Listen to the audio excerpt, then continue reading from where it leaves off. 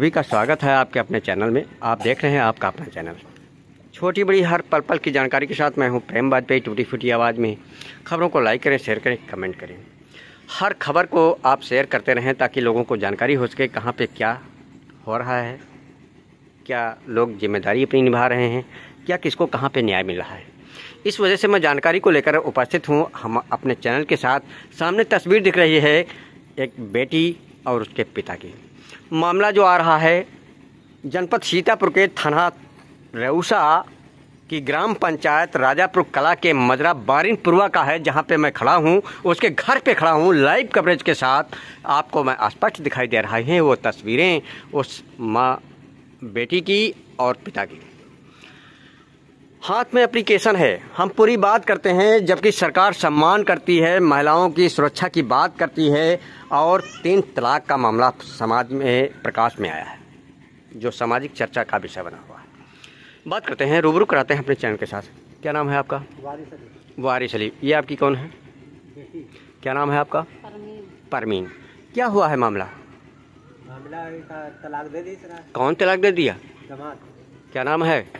शाहिद कहाँ का निवासी है? बस्तीपुरा। बस्तीपुरवा अच्छा थाना कौन लगता है उसका?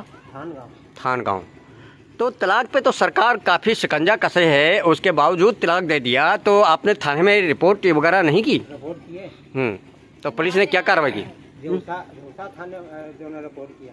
अच्छा आपका थाना रेवसा लगता है?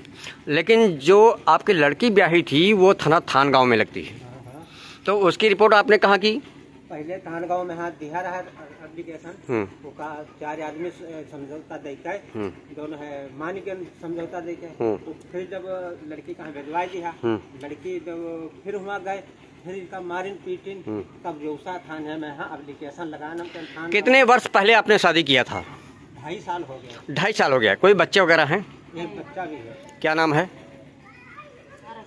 अरशद कितने साल का है? दस माह का। वो किसका लड़का है? शाहिद का।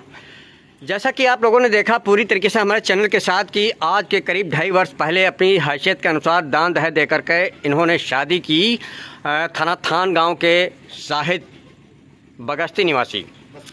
बस्तीपुरवा के निवासी, क्या नाम है?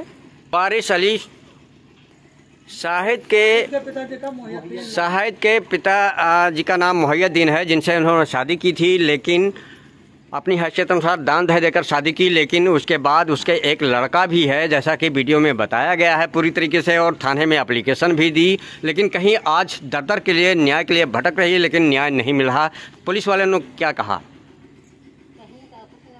तीन दिन से दौड़ा रहे हैं। हम्म? तीन दिन से दौड़ रहे हैं।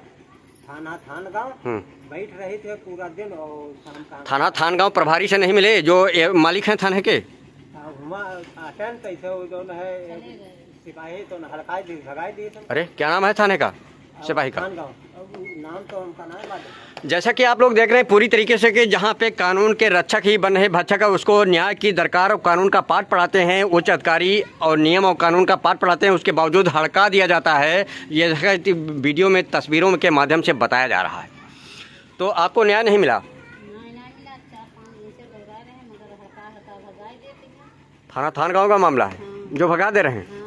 ये है मामला थाना थान गाँव की पुलिस का, जो हमेशा सुर्खियों में बना रहती है। और वहीं जब इस बाबत बात की गई, थाना प्रभारी राम प्रकाश से तो उन्होंने ठीक से बात भी नहीं की। जैसा कि जब उनके फ़ोन नंबर से बात की गई तो उन्होंने ठीक से बात नहीं की और फ़ोन काट दिया गया। पूरी जानकारी भी नहीं दी गई इस बाबत जब बात की गई, जब यहाँ पर मौके पे कवरेज के लिए आया गया और यहाँ पे जब बात की गई तो राम प्रकाश ने पूरी तरीके से वो अपने कारनामे से सुर्खियों में बने रहते हैं। हमेशा जैसा कि जो लोगों की जुबानी चर्चा का विषय बने हुए हैं क्षेत्र में, आए दिन कई कांड हो चुके हैं, लेकिन वो प्रभावी कार्रवाई नहीं करते हैं और ये दर दर के लिए भटक रही है न्याय के लिए। ये थाना थान गाँव का प्रभारी जो राम प्रकाश हैं, उनके पुलिस के कारनामे।